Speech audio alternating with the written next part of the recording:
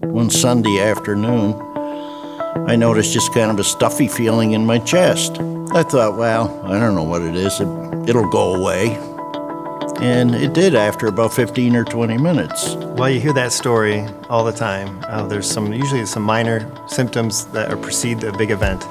And a lot of times people just think it will go away, and it may for a little while. Tuesday, it started bothering me about 3 o'clock in the afternoon, and that time it didn't go away. It was kind of like there was a turkey drumstick stuck in my throat.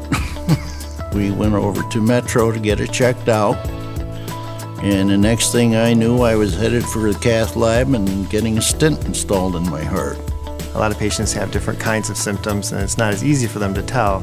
But the key is you go get checked as quickly as you can. Well, I've had resistant hypertension since I was about 25 years old. Sometimes we got it under control, and sometimes it just got a little out of control. But especially after having a heart attack, the uh, Metro Health team said, well, we got to deal with this blood pressure. It's the silent killer. You have to just get your blood pressure checked and get it checked periodically. And I think that's a lot of what the annual physical exams are really helpful for, is you get to check that blood pressure. Take care of yourself.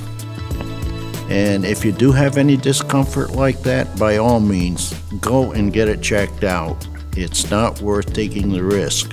The average length of time of a patient presenting with their heart attack is about three hours from the symptoms beginning, and that's about two and a half hours too long. If the patients come to Metro with their chest pain, we have a system in place that allows us to get them assessed within 10 minutes with an EKG, and they're in the cath lab and their artery is open within 90 minutes or less. The nurses and the doctors just seem very interested in my health and they seem to be very highly dedicated to their work.